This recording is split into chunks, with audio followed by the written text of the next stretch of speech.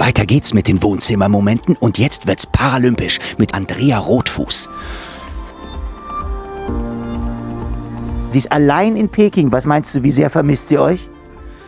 Andrea ist ein Familienmensch und ich glaube, es tut, wird ihr schon gut tun, wenn dann mal einer da wäre und wird sie in den Arm nehmen oder so.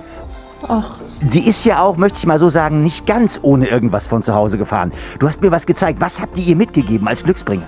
Mama hat ihr Glückssocken gestrickt. Die Athletinnen und Athleten starten ja unter verschiedenen Bedingungen.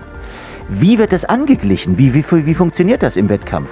Je geringer die Behinderung, umso eher geht, geht die Faktorzeit an die 100 Prozent. Die Uhr wird sozusagen vorm Start immer dementsprechend eingestellt. Sie läuft entweder in Realtime oder dann entsprechend zur Behinderung etwas langsamer oder viel langsamer.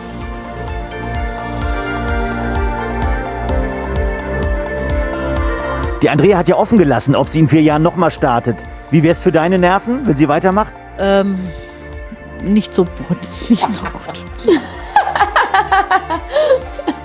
oh Gott.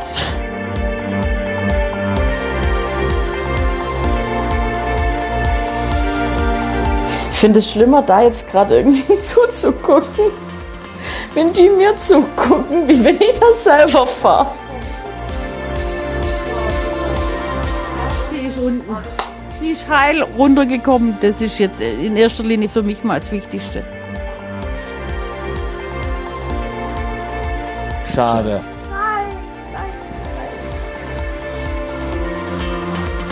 Aber das ist Andrea. Andrea freut sich immer für die anderen mit. Es ist nicht der erste vierte Platz in Young für Deutschland. Also von dem her, alles gut. Drück dir weiterhin die Daumen für morgen, da geht schon wieder weiter. Wir sind mega, mega stolz auf dich. Wir haben das erste Rennen von dir verfolgt. Wir hoffen auf die weiteren Rennen und wünschen dir alles, alles Gute. Lass es richtig krachen. Und drücken ganz, ganz fest die Daumen. Und jetzt ist gut, weil jetzt muss ich wieder weinen. das tue ich schon lange. ja, danke fürs Daumendrücken. Danke, ähm, dass ihr heute Nacht aufgestanden seid, zugeschaut habt. Das erste Rennen ist rum, Platz 4. Ähm, ich bin super happy, ich glaube ihr auch. Und ähm, dann sehen wir uns in anderthalb Wochen wieder. Ich würde sagen, Überraschung gelungen. Ab ins nächste Wohnzimmer.